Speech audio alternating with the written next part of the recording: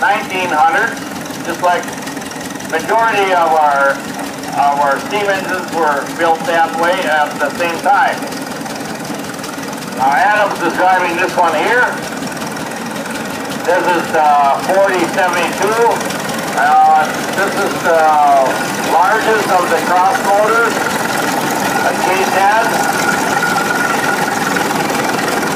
Mr. Adams is driving. Mr. Adams is driving. Richard is the dad.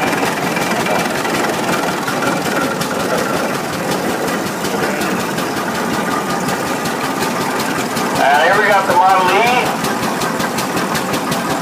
And, uh,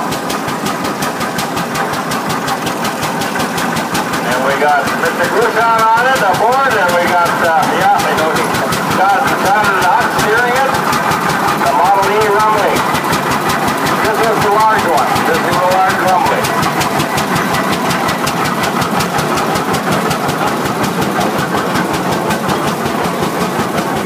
Next tractor OilPull is Gary Beaver.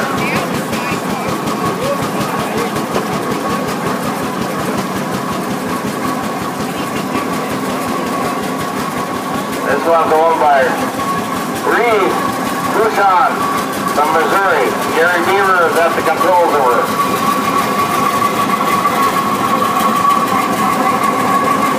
And we have a mineral OilPull here.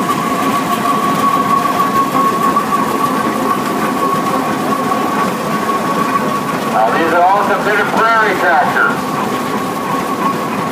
Why did they get so popular?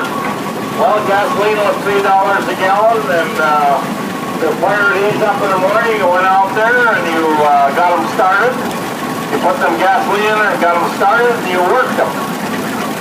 It didn't, you know, it didn't take three hours, four hours of prep before you start. Six cylinder, Twin City. This is the large one, the large Twin City, and then here's the four cylinder. Two power, power, and here we have gear leader. And then Westwell from Down River, Minnesota, operating that one.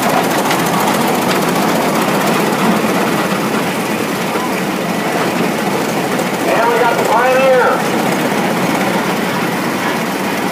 The Pioneer was used for belt work, and the Pioneer was, a lot of times your tender pioneer says instead of high, road speed. I think the road speed is like 60.